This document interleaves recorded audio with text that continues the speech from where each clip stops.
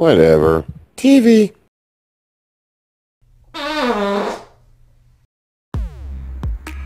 Hey guys, and welcome to Whatever TV. In today's episode, I decided to pull out an old project that I started about a year ago before I started this YouTube channel. This here, as you see here, is the start of the frame of a T-Rex inspired go-kart.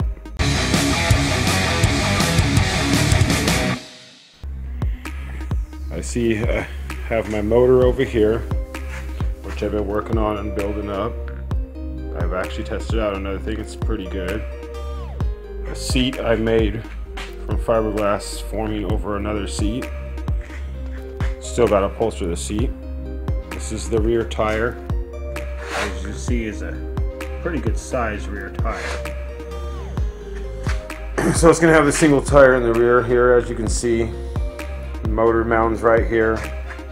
Still working on cleaning it up and welding on some spots and uh, fixing some areas. But the rear suspension is installed. So next project here I'm going to do is get that seat installed right there. So let's go over to my scrap pile, see what I got for some metal. Uh, this one should be good. Let's see what we got in here. Um, let's see. Actually, right there on top, this flat piece right here. I think this will be good. Because I need to make some brackets for this thing. I think if I weld that across there, cut it right, bend it right, make a front bracket for the seat and I think I might take and drill a hole through here for the back of the seat to mount. And if I mount this on, cut it here and maybe bend it or I might even have it right bending it right here for the front and I just may make it match on this side. So my goal is to have the seat mount it right there when I get done. In this area later on that's empty back here, I'm gonna we'll do another video, but I'm gonna build a box right there for a small 12 volt battery to run lights for this cart and stuff. And then after I get the seat mounted, I am gonna put a plate on the bottom here, flat skid plate going across, a couple more supports going across here, and then come up to the front end here, and we'll start putting the front end, doing steering. I am going to put suspension independent on the front end also of it. So I'll say today's video is part one of this build. Please subscribe to our channel if you want to see more fun videos. I'm going to continue to build this and do other videos as I go. It's a project that I want to get done that should have been done already.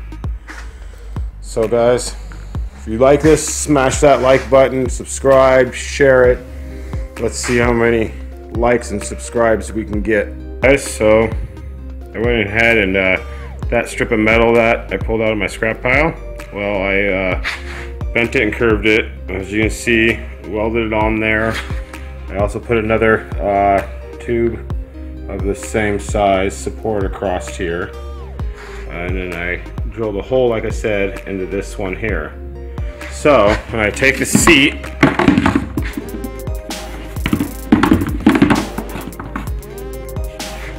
as you see, the seat will sit on that bracket, and you can see the holes. There's one there, one right there, and one over there. Um, put the screws through, and uh, when I mounted the seat, I uh, put a rubber washer about maybe anywhere between about an eighth of an inch thick between the bracket and the seat before I bolt it on. Gives it a little bit, you know, a shock absorber and that so the seat will last longer and be able to take vibration without cracking. And then, so, anyways, I also went and set the motor on and put the rear tire on so you guys can kind of get a look of what this bad boy is going to look like when it's done. And that, um, of course, friend's sitting a lot higher because it's up on a crate, but in the next video, which I guess is going to be part two, we're going to go to that front end and see what we can get started on there. It's the uh, tower for the steering wheel, or if we need to possibly put the A-arms and suspension in first, I think, on the front, and then we'll figure out the tower for the steering and stuff. But I think that's what we'll look into on the next one. Hope you guys enjoy. And always remember, smash that like button. Comment below, tell me what you think, or if you got any ideas. Um, also, subscribe if you haven't already, and uh, share it with your friends. And uh, I think this is going to be a fun cart when it gets done. Again, this is a T-Rex inspired go-kart. Thanks again, guys, and see you next time.